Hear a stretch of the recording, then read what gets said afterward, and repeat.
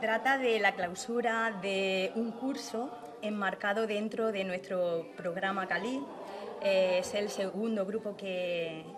formamos este año, a través del que trabajamos en itinerarios personalizados de,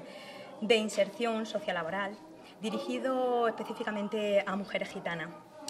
Culmina eh, estos itinerarios, se realizan tanto en sesiones eh, individualizadas como en sesiones grupales y culmina con una formación siempre enfocada a eh, la apertura del horizonte al mercado laboral.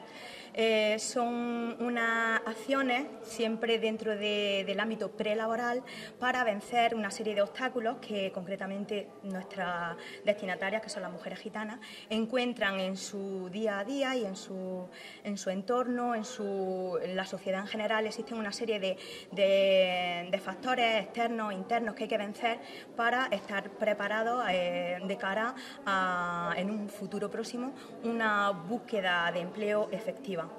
Y hoy ponemos eh,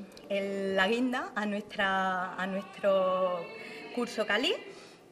y queremos hacerlo a través de, un acto, sobre todo homenaje a ellas, a nuestras participantes, porque entendemos que es una manera también de, visibilizar a la mujer gitana, de visibilizar su, labor y también de reivindicar, eh, bueno, pues que es necesario trabajar en,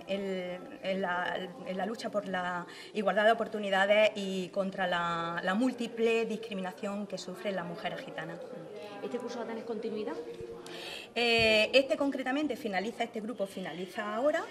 puesto que estas mujeres van a pasar a realizar otro tipo de acciones canalizadas a través de otros programas, concretamente nuestro programa de empleo Acceder, eh, son derivadas directamente a este programa y aquellas que están interesadas en, retomar estudios, que también existen mujeres que, bueno, dentro de, las acciones que realizamos, la motivación hacia la formación eh, es una de, de las acciones fuertes y bueno, se canalizan tanto a los programas educativos como de empleo. Este grupo finaliza ahora porque lo que vamos a hacer es comenzar con otro nuevo grupo. Eh, de manera pues que se realicen acciones con otro grupo nuevo de mujeres y puedan ser derivadas igualmente a, a nuestro, al resto de nuestros programas educativos y de empleo.